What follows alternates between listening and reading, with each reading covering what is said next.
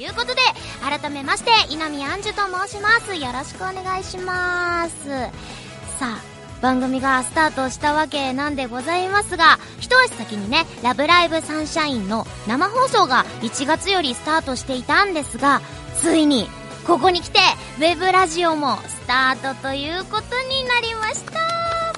チパチ。いや、嬉しいですね。ありがたいでございますよ。まあね、あの、この番組は基本的にアクアメンバーの誰かをゲストに呼びまして、一緒におしゃべりをしていく番組でございますが、今回は初回ということで、私、稲見杏樹一人でお届けします。まあね、ちかちゃんもついてるから二人でですね、お届けししていきたいと思います。めっちゃ噛んだ。はい。いやいやいや、今日は一人ですからね、ものすごく緊張してますよ。というのも、私、こう、ラジオっていうのは、あの本当にほぼ未経験というかもう経験がないぐらいなのでいやー怖い うまくできるでしょうか？まああのね次からメンバーも来るから支えてもらって頑張っていきたいななんて思っておりますけれどもまずはねあの私のことを軽く知っていただければなと思うので自己紹介させてください。はい。高見千佳役稲見杏樹と申します。1996年2月7日生まれでございます。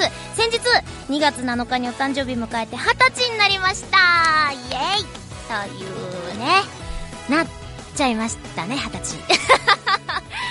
ちゃいましたねまあ来るよねそりゃいずれねみんな通る道だからね はいアイニャと同い年ですねうんはい、自分の性格を一言で言うとそうね割と自由な性格かなと思いますね。なんかまあ自由で言ったらやっぱちょっとチカちゃんと通ずるところはあるなと思いつつ、まあでも、はっきりしてますね。イエス、ノーはすごいはっきりしてるタイプだと思います。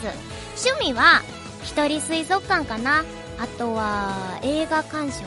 うん、とか、最近はちょっと、なかなか映画館に行けなくなってて、忙しくて。なので、そうだな。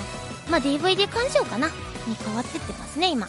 特技は、そうですね、私中学校3年間空手をやっていたので、そうなんですよ。だから、あのね、回し蹴りかな。うん。最近はでも前蹴りとか、後ろ回し蹴りとかもするからね。あ、蹴り技かな？うん。ああ、なんで空手やったかっていうと、そうですね、私、あの、もともとすっごい声が高い方だったのでで自分の声があんま好きじゃなくていやもうやだなと思っててバカにされちゃうなこんな声じゃって。なんとなくこう漠然と嫌だな自分の声って思ってた時にあのー、空手を誘われてまあ、舐められたくないから空手を始めたっていう。っていう理由なんですけど。まあでもそれでも楽しくて3年間続いてますからね。しっかりやってましたけれども、はい。いや、今、え、今度の生放送で披露する？しないよまあね、いつかね、こう、イベントとかでね 言っちゃった？そういうこと言っちゃうからもう、いつか振られちゃうんだから、本当にね。はい、ということで、まあこの番組を通してね、ラブライブサンシャインのことだったり、私たち、アクアのメンバーのことをたくさん知っていってもらえるように頑張っていきたいと思っておりますが、ここでですよ、なんと、もうね、メールが届いてるんでございます。もうたくさんたくさん本当に皆様ありがとうございます。初回にもかかわらず、本当に感謝感謝でございます。では、早速読んでいきたいと思います。